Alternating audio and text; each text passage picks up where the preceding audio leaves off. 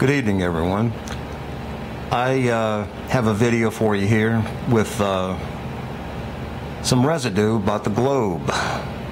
It's the Eurythmics. Sweet dreams are made of these. In this reality, of course, it's made of this. But uh, it's interesting to note, if you look on the screen here, that uh, I pulled up these and both of them came up in the YouTube search engine.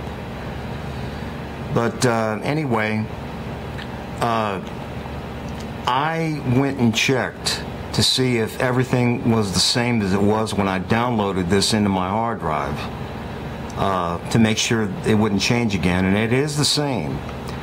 So uh, this is a great video. Um, it's uh, the official video. Sweet dreams are made of these.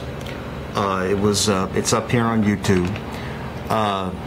But what I want to address is that in order for you to see the big gap between South America and Africa, uh, way big, bigger than it is now on here. And you can also see South America directly under uh, America, North America, where it always was.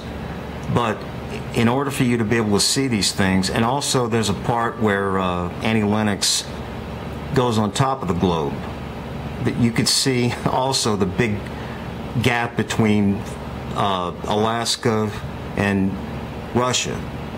And if you look really close, you could see that Alaska doesn't look the same either. So the whole thing is full of residue. In the beginning, that's a toss up. But uh, I'll go ahead and play it.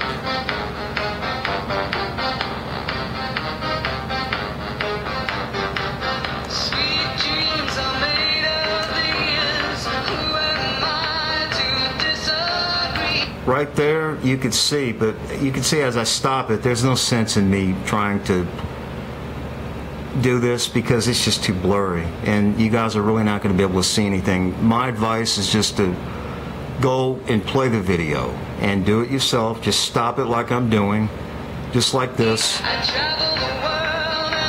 At 21 seconds in, she's going to spin, okay, uh, right there. Just keep doing it like I'm doing, and you'll see it. You'll find the evidence. It's going to be there. Uh, y'all have a good night or good morning, or which time you're going to be viewing this uh, video. And um, that's about it.